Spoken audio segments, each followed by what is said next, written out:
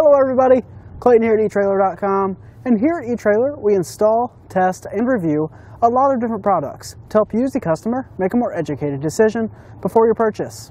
Today we're going to be working on our 2017 Volkswagen Golf Alltrack and we're going to be taking a look at and I'll be showing you how to install CURT's Class 1 trailer hitch receiver. Adding a hitch to your Golf is going to be a huge upgrade. We're going to be able to get our bikes off of our roof or out of our trunk and onto a bike rack, making more room for us and our passengers. We're also going to be able to get a cargo carrier back here to carry some of that extra cargo if you are on a road trip. And you can even tow a small trailer, such as taking your jet skis to the lake for the weekend. And this is what our hitch is going to look like installed. I really like how it turned out. You're only going to be able to see the receiver tube. You're not going to see that cross tube that runs behind our bumper beam. It's going to look nice and factory while also keeping that sporty appearance. Our hitch is going to be a steel construction, so it's going to hold up really good for a long time. It also has this nice black powder coat finish to help resist rust and corrosion. I really like this steel reinforced collar. It just makes it look finished while also adding a little bit of stability. Now we are going to get an inch and a quarter by inch and a quarter receiver tube opening, so you are going to be kind of limited on your accessories, but we still have plenty of options here at eTrailer. Now we are going to get a st standard half inch pinhole. You want to keep in mind a pin and clip are not included with this kit, but you can find one here at eTrailer. We're going to have the rolled style safety chain openings. They are going to play nice with a lot of different style of safety chains. As you can see, our clevis hook fits on there just fine, so you're not going to have to worry about changing out your chains on your trailer.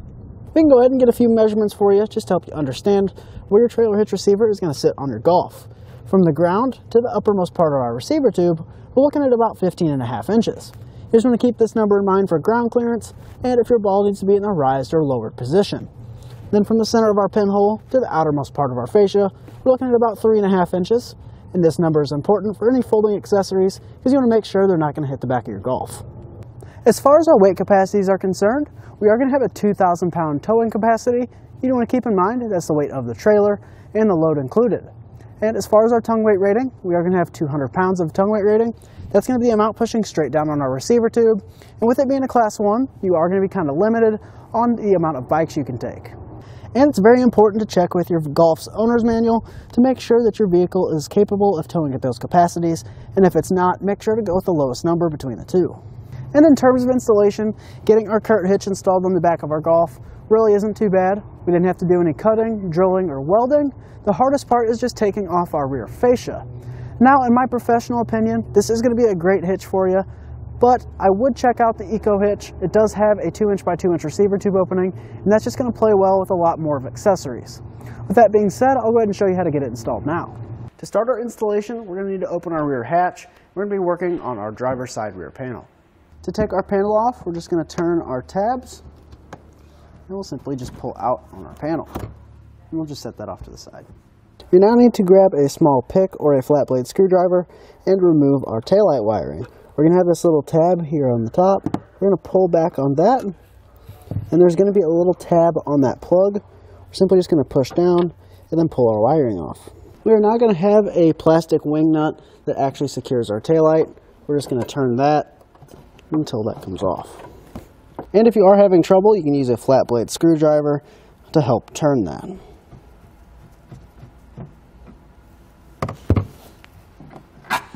We just set our screw off to the side. Now removing our tail lamp assembly is going to be pretty easy. We're just going to grab a trim panel tool. We'll slide that in here. Just kind of pry out on it until that comes loose. You just remove it and set it off to the side. We can now repeat that same process over on the passenger side. So now would be a great time to install some four-pole wiring. If you ever want to tow a trailer, since we're already going to have our fascia off and our tail lamps out, it's going to make that a lot easier. You can find that video here at eTrailer to help assist you. We now want to move to our rear wheel wells. We're going to have four T25 Torx bits we're going to be removing along the outside here. There's going to be one located up here, and then a Phillips head right here. We'll go ahead and get that taken out now.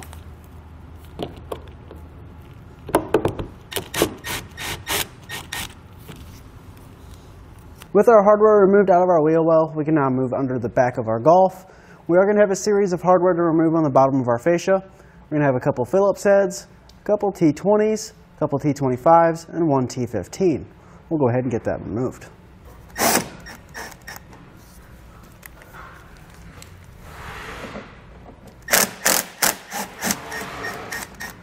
Before we remove our fascia, I'm going to add some tape just around our body lines. That way we don't scratch any of our paint.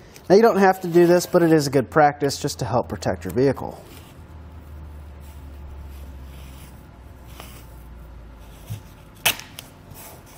Just follow that body line all the way up to our wheel well. Now we just want to grab a friend to help us remove our bumper. We're going to start by pulling our corners out on our fascia, then carefully working our way towards the middle.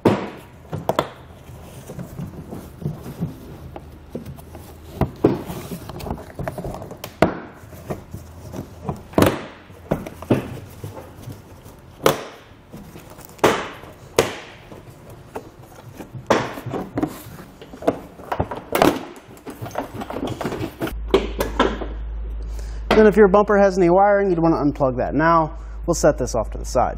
We're now going to be removing our factory bumper beam. There's going to be four 13 millimeter bolts that we need to remove on each side.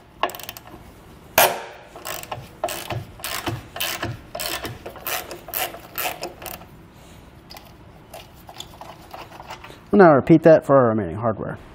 Now we just want to lift our bumper beam off, and we can grab our hitch. This is going to be our hardware orientation. We're going to take our split lock washer, slide that over our bolt, then our flat washer, and our conical tooth washer. You want to make sure that the teeth on the conical tooth washer are facing our hitch. Now with an extra set of hands, we can lift our hitch up into place, aligning our new hardware. With our hardware threaded in by hand, we now want to come back with a 13 millimeter socket and just snug it down. We don't want to over tighten this, but just get it nice and snug. We're now ready to come back and torque down all of our hardware to the amount specified in our instructions.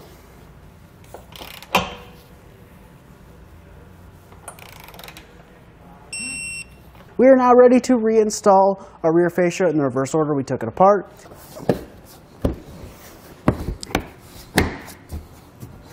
Then whenever you're putting your fascia on, it kind of helps to have a third set of hands just to help feed our hitch through this opening in our fascia. Now, if you don't have an opening here, you'll be trimming this out according to our instructions. With everything reinstalled, we're now ready to hit the road. That's going to do it for our look at and our installation of the CURT Class 1 trailer hitch receiver on our 2017 Volkswagen Golf Alltrack.